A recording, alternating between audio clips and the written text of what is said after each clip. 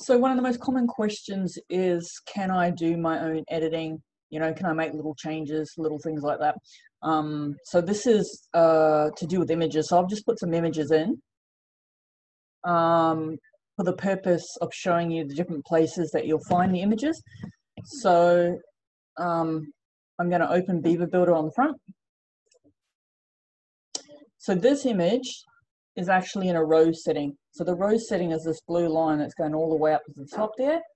And he's right there in there. So we're going to click on this little row setting here.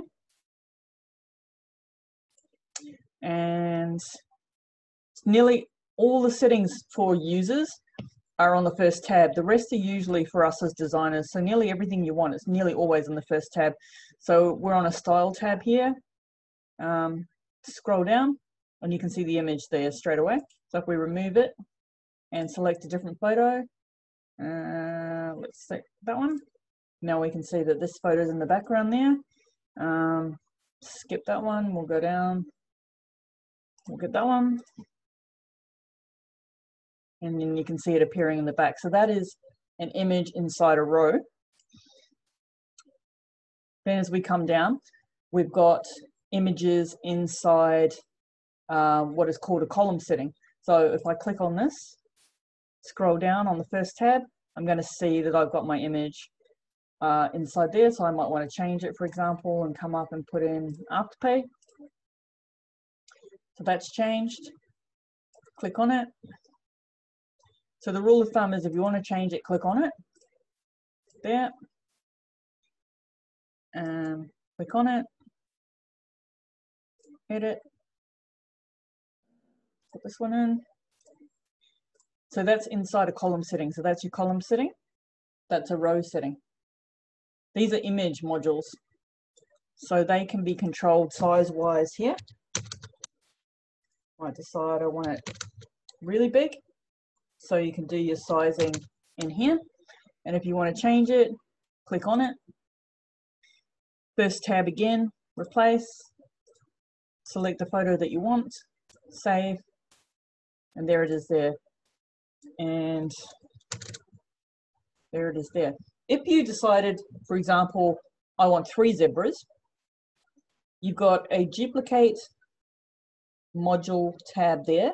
And you've also, under the column settings, you've got duplicate column. So if you duplicate column, it'll put it here. But if you duplicate this, puts it underneath, which is no good if you want it up here. So what we're going to do is click on duplicate column like that. And then we might decide, for example, you wanted something else in there.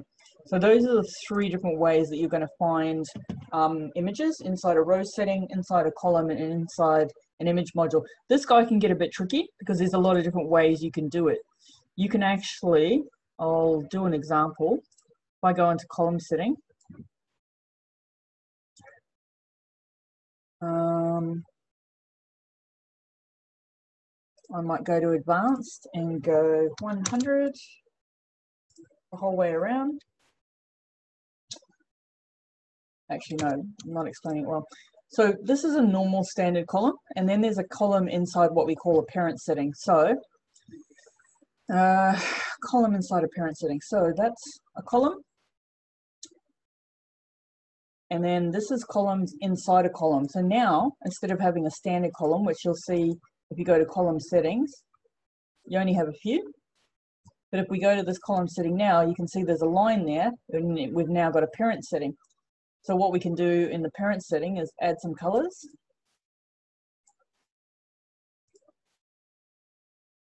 And then inside the top part, which is the main column setting, we can add, for example, a photo.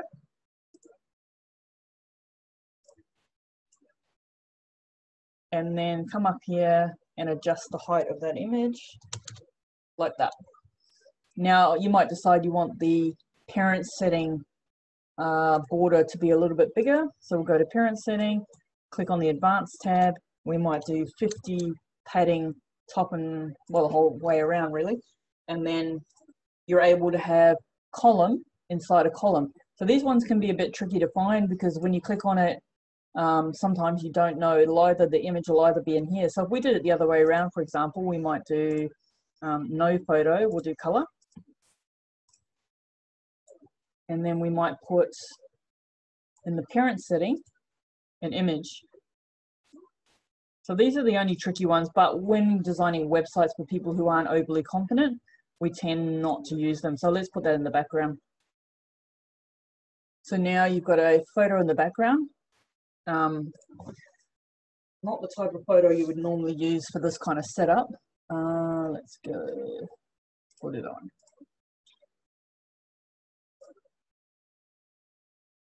So you may be looking for this image in the back to change, um, and that will be inside the parent setting, so the, the one going around the back. We try not to use these modules, they confuse people, but if you've got uh, a situation where you can see a line and you can see a parent setting, check your column settings on the first tab, and then check your parent setting on the bottom one. But like I said, try not to, we try not to use those ones because people get a bit mucked up.